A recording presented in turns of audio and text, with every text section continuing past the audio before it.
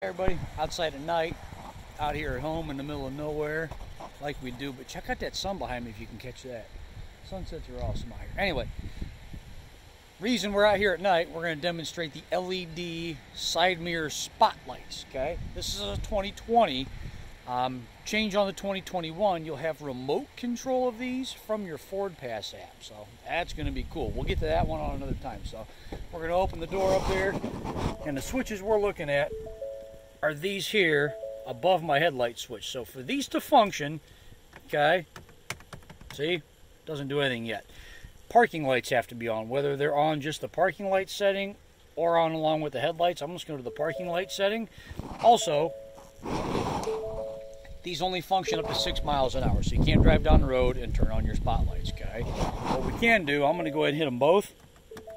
So both sides are on, left and right. We're going to close the door. And we're going to walk back here a little ways because I want you to see just how much light this thing puts out, okay? So, take a look with me. You got the lights on the back of the cab, those are LEDs too, but look at the side of that. You're looking at the light that's coming off of the rear view mirror there on the outside. How big of an area this thing lights up. So like, you know, if you live in the middle of nowhere like me, if you're out somewhere camping, I, don't know, I mean, out somewhere at night and you just want to have a bunch of light around, how cool a feature is that, right? So, LED side mirror spotlights, that's how they work. Comment with questions. Appreciate y'all.